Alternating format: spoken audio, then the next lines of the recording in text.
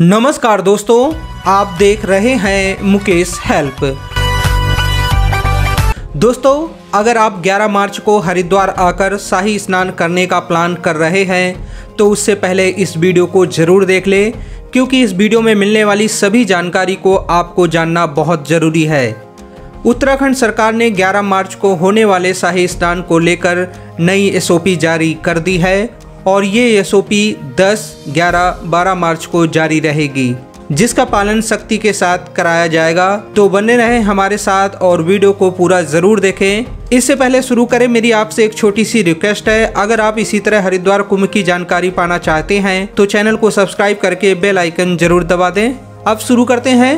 दोस्तों सोमवार को मुख्य सचिव ओम प्रकाश ने 11 मार्च के शाही स्नान को लेकर नई एसओपी जारी कर दी है जो 10, 11, 12 मार्च को लागू रहेगी।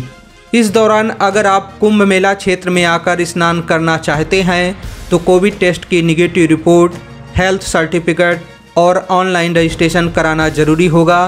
वहीं कोविड रिपोर्ट आरटीपीसीआर होनी चाहिए और बहत्तर घंटे से ज़्यादा पुरानी नहीं होनी चाहिए। कुंभ मेला क्षेत्र में एसओपी लागू रहने के दौरान कोविड की रैंडम टेस्ट भी किए जाएँगे। वहीं पवित्र स्नान के लिए केवल 20 मिनट का ही समय दिया जाएगा। मौके पर तैनात सुरक्षाकर्मी की ये ज़िम्मेदारी होगी कि 20 मिनट के बाद उस ग्रुप को बाहर निकालें ताकि दूसरे लोग स्नान कर सकें।